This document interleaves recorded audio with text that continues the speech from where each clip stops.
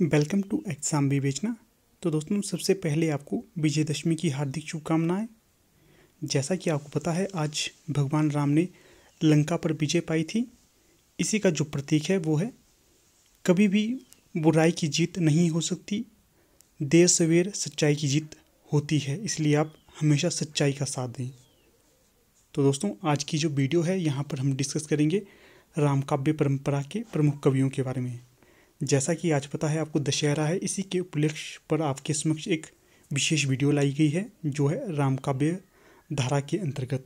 इसमें हम आपको बताएँगे कि राम काव्य धारा के अंतर्गत कौन कौन से प्रमुख कवि आते हैं। अगर कभी भी आपने हिंदी साहित्य की कोई भी परीक्षा दी होगी तो वहाँ पर आपने देखा होगा कि अवश्य राम काव्य धारा या कृष्ण काव्य धारा, इससे संबंधित एक प्रश्न बनता है। इसी को मद्देनज़र रखते हुए आपके समक्ष हम ये सीरीज़ को स्टार्ट कर रहे हैं। जल्द ही हम आपके समक्ष बाकी सीरीज़ सीरीज़ को भी लेके आएँगे, जिसके अंतर्गत होंगे सूफी काव्य धारा कृष्ण काव्य धारा इस इनके बारे में भी आपके साथ हम डिस्कस करेंगे। तो चलिए, जो आज की वीडियो है, इसे शुरू करते हैं। तो जो राम काव्य परंपरा के अंतर्गत प्रमुख कवि आते हैं, सबसे पहले उनमें नाम आता है तुलसीदास जी का।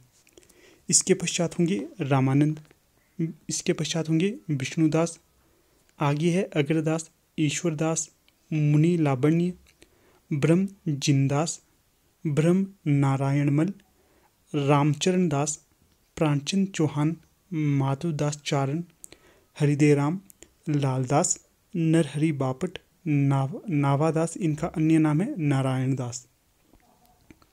प्रियादास बेनी माधवदास माधवदास जगन्नाथी, परशुराम देव, चंद्रिका प्रसाद दीक्षित, बलदास, बाल भक्ति ये जो बलदास और बाल भक्ति है, ये भी राम काव्य धारा के प्रमुख कवियों में से एक गिने जाते हैं।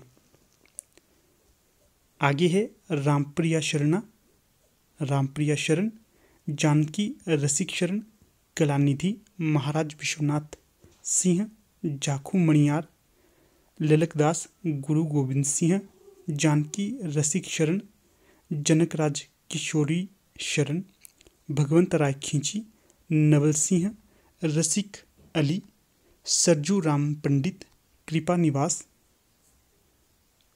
मधुसूदन, जानकी शरण, बाल अलीजू गोकुलनाथ, मनियार सिंह, गणेश कवि केशवदास हरिदे राम, सेनापति और कपूरचंद त्रिखा। तो ये कुछ कवि थे जो राम भक्ति काव्य धारा के अंतर्गत आते हैं। यहाँ पर मैं वीडियो को थोड़ा सा छोटा कर देता हूँ, जिससे आप इसका स्क्रीनशॉट लेकर इसे कहीं पर नोट भी कर सकते हो, या स्क्रीनशॉट लेकर उसे कंटिन्यू रिवाइज करते रह सकते हो। तो ठीक है दोस्तों, आशा करता हूँ आपको इस वीडियो से अवश्य लाभ हुआ होगा। तो ठीक है, यहाँ पर अपनी वीडियो का समापन कर लेते हैं। आप लोग वीडियो के अंत तक बने रहे इसका बहुत बहुत धन्यवाद। तो गाइज़ यहाँ पर आप हमारी टीम द्वारा लॉन्च की गई पीडीएफ को भी ले सकते हो। ये जितनी भी पीडीएफ हैं, ये सभी उत्कृष्ट श्रेणी की है। इनमें सिर्फ़ उन्हीं प्रश्नों को शामिल किया गया है जो पिछली परीक्षाओं में पूछे गए हैं। इस नज़रिए से ये आपकी आगामी परीक्षा के लिए बहुत ही लाभदायक होने वाली हैं। यहाँ पर आपको दो पीडीएफ दी जाएँगी। इनमें जो पहली होगी, उसमें आपको दस मॉक टेस्ट दिए जाएँगे। ये सभी बहुत ही अच्छे होंगे। और जो दूसरी होगी, इसमें आपको एक हज़ार प्लस वन लाइनर प्रश्न मिलेंगे।